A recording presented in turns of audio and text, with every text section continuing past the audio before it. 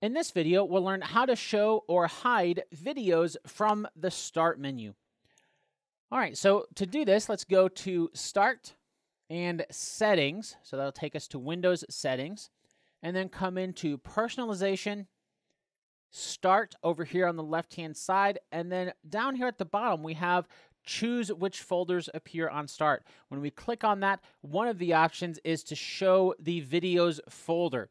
So with this turned on, now if we come back to start, you can see we have the videos folder. So if we click on that, it's going to open up the videos folder inside of our personal folder in Windows.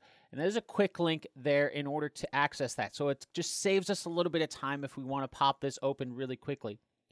And again, if we have that visible and maybe we want to hide it, we can come in here and turn that off in order to hide the videos from the start menu there.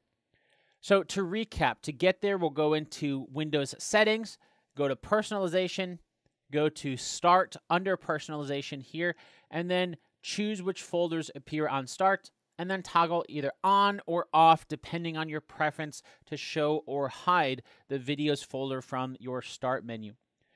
Now, if this was not the issue you're experiencing, maybe you're coming across something that's annoying you and you found this video in search and you were hoping that it would be a solution to your problem, but we ended up going down a different direction and solving something different than the problem that you're having. Well, add the issue that you're having to the comments below, and that is where I get ideas for future tutorials. But that'll do it for this video. Thanks for watching.